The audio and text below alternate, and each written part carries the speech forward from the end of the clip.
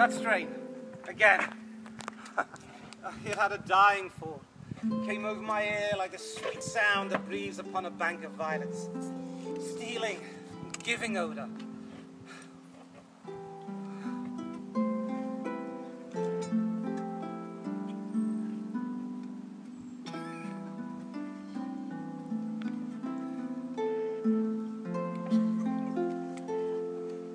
Enough!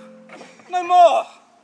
It is not so sweet as it once before. Oh, spirit of love, how quick and fresh art thou, that notwithstanding thy capacity receiveth as the sea, naught and deserve what validity and pitch soe'er, but falls into abatement and low price, even in a minute. So full of shapes of fancy that it alone is high fantastic.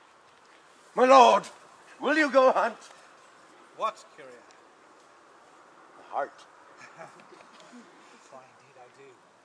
The noblest that I have. Mine eyes did see Olivia first. Methought she turned, purged the air of pestilence. In that instant was I turned into a hart.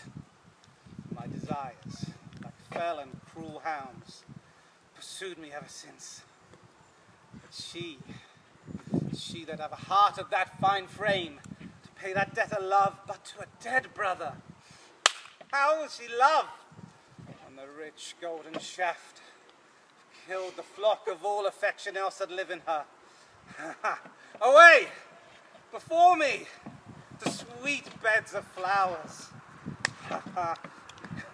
Love thoughts lie rich when canopied with bowers.